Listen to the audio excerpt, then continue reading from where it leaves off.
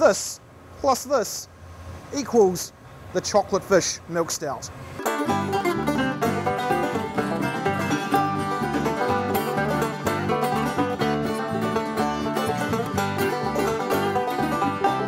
Um, yeah, Gabs is just a great festival. You get to make fun beers. It's all about different flavours and enjoying different uh, different beers with your friends.